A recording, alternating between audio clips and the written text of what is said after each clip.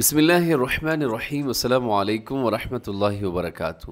آج ہم پڑھیں گے قرآن حکیم کی صورت البقرہ، اس کی آیت نمبر 49 اور 50 انچاس اور پچاس۔ تو شروع کرتے ہیں۔ بسم اللہ الرحمن الرحیم۔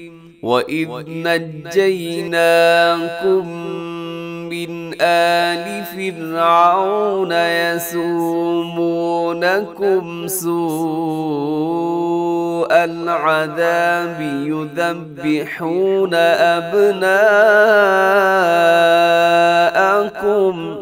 يذبحون أبناءكم ويستحيون نساءكم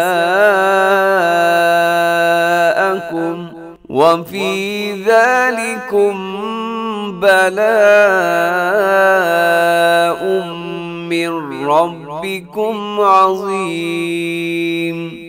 اس آیت کریمہ میں جو پہلا لفظ ہے، وَإِذْ نَجَّيْنَاكُمْ، یہاں پہ کیا کرنا ہے آپ نے کہ وَإِذْ کو ذال کو کلکلا بھی نہیں کرنا اور اور اس میں سیٹھی بھی نہیں ہے۔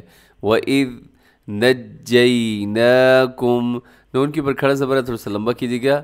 اور آخر میں دیکھیے گا نجئی من یہاں کم من میں کیا ہو رہا ہے؟ ادغام ہو رہا ہے، کیونکہ ہاں میم ساکن کے بعد پھر میم آ گئی ہے۔ تو میم کی جو تین حالتیں آپ نے پڑھی تھی، اس میں سے یہ پہلی حالت ہے کہ میم ساکن کے بعد پھر میم آ جائے۔ تو وہاں ادغام کرتے ہیں، جس کو ادغام میں شفوی کہا جاتا ہے۔ غنہ بھی ساتھ آپ نے کرنا ہے یعنی کہ آواز کو ناک میں چھپانا ہے۔ کیسے آپ پڑھیں گے؟ وَإِذْ نَجَّيْنَاكُمْ مِنْ آلِ۔ اب آگے دیکھیے گا، من آلی یہاں نون ساکن کے بعد آلی کے شروع میں حمزہ ہے، تو یہاں پر اظہار ہو رہا ہے۔ من آلی، اسے آلے نہیں پڑھنا۔ اکثر کیا کرتے ہیں؟ آلے، جیسے درود پاک پڑھتے ہیں نا، اس میں بھی اکثر کیا کر دیتے ہیں؟ آل محمد تو آلے نہیں ہوتا کیونکہ لامز لی ہوتا ہے ہمیشہ، لامز لے نہیں ہوتا۔ تو آلی محمد۔ مجھول نہ پڑھیں بلکہ معروف پڑھیں۔ تو یہاں پر کیا آتا ہے؟ آلی فرعون۔ فرعون میں کیا ہے کہ را باریک پڑھی جائے گی، اس کو آپ نے موٹا نہیں کرنا، کیونکہ را ساکن سے پہلے زیر ہے، تو اس را کو باریک پڑھا جائے گا۔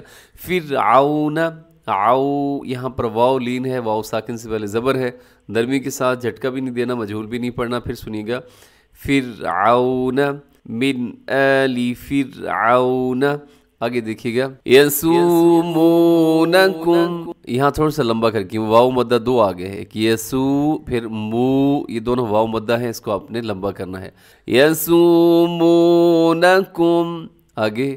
سوء العذاب، سوء یہاں بڑی مدہ حروف مدہ حمزہ ایک ہی لفظ کے اندر ہے۔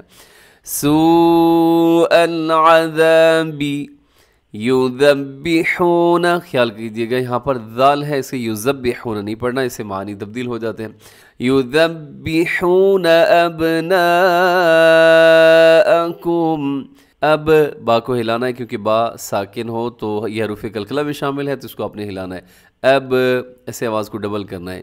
ابناءکم آگے۔ وَيَسْتَحْيُونَ نِسَاءَكُمْ۔ وَيَسْتَحْيُونَ حا کا خیال کیجیے گا۔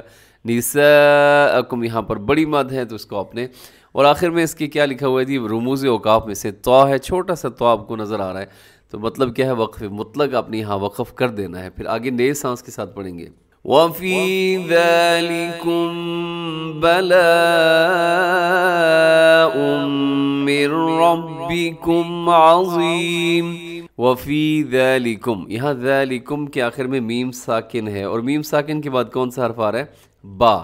تو اس لیے جو بھی سبق آپ پڑھا کریں، تجوید کا سبق جو میں ویڈیو بناتا ہوں، لیکن دو تین دن کے وقفے سے بناتا ہوں تاکہ آپ اس کو یاد کیا کریں۔ تجوید کے جو رولز ہوتے ہیں، سمجھ آ جاتے ہیں آپ کو، لیکن کوشش کیا کریں کہ وہ آپ کو زبانی یاد ہوں۔ جیسے حروف حلقی ہیں حروف ینولون ہیں یا جیسے میم ساکن کی تین حالتیں ہیں۔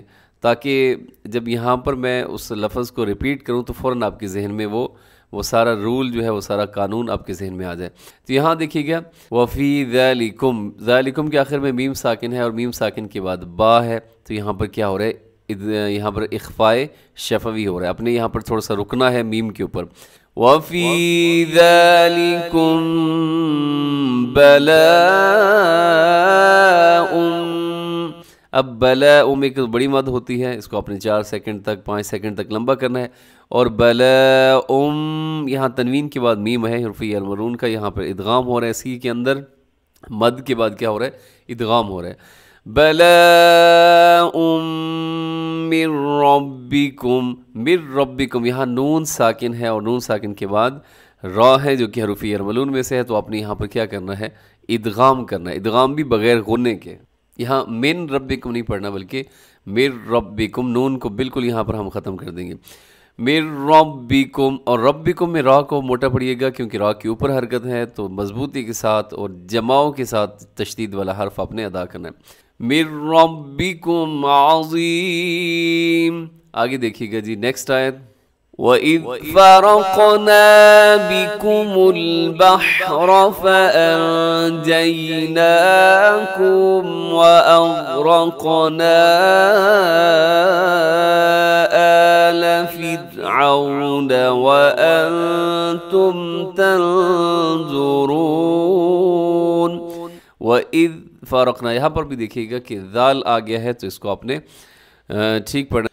اب دیکھیے قرآن مجید کے اندر جب آپ ایک لفظ کو ٹھیک کر لیتے ہیں تو وہ وہ لفظ قرآن مجید میں کئی جگہ پر اللہ رب العزت اس کو ریپیٹ کرتے ہیں، بار بار دہرا رہے ہوتے ہیں۔ تو یوں سمجھیے کہ آپ کا ایک لفظ نہیں ٹھیک ہو رہا ہوتا، بلکہ قرآن پاک کے اب بہت سارے الفاظ وہ آپ کے ٹھیک ہوتے ہیں۔ جیسے یہاں دوسری آیت میں دیکھیے گا وعید فاروقانہ اگر آپ نے اوپر وعید کو ٹھیک کر لے تو یہاں پر بھی وعید ٹھیک ہو جائے گا، اس میں قلقلہ نہیں کرنا اور سیٹی نہیں ہے۔ وعید وعید فاروقانہ فاروقانہ اس میں راہ موٹی پڑی جائے گی، قوف قلقلہ ہے اور قوف موٹا بھی ہے، تھوڑا سا لمبا اس لیے کیجیے گا نون کو، کیونکہ نون کے ساتھ الف ہے۔ پھر غور سے سنیے گا۔ وَإِذْ فَرَقْنَا، فَرَقْ، فَرَقْنَا۔ اس کو باریک کرنا ہے، نون کو اپنے موٹا نہیں کرنا۔ فَرَقْنَا، باریک رکھنا ہے۔ بِكُمُ الْبَحْرَ۔ اور اس میں حا کا خیال رکھیے گا۔ بحرہ میں آگے۔ فَأَنْجَيْنَاكُمْ فَأَنْجَيْنَا نون ساکن کے بعد جیم ہے جو کہ نہ یرملون میں ہے نہ حروف حلقی میں سے ہے بلکہ حروف اخفا میں شامل ہے تو آپ نے اخفا کرنا ہے نون ساکن پہ کیسے آواز آئے گی؟ فَأَنْجَيْنَاكُمْ آگے۔ وَأَغْرَقْنَا آلَ فِرْعَوْنَ وَأَنْتُمْ تَنْظُرُونَ۔ وَأَغْرَقْنَا۔ غین کو ہلائیے گا مت، اسے لوگ ہلا دیتے ہیں۔ وَأَغْرَقْنَا۔ ایسے غین ہل جاتا ہے تو یہ درست نہیں ہے۔ آل فرعون۔ اس میں کیا ہے؟ را باریک ہے۔ فرعون میں، کیونکہ را ساکن سے پہلے زیر آ گئی ہے تو را باریک ہے۔ وَأَنْتُمْ نون ساکن کے بعد تا ہے۔ یہاں پر اخفا کیجیے گا۔ وَأَنْتُمْ۔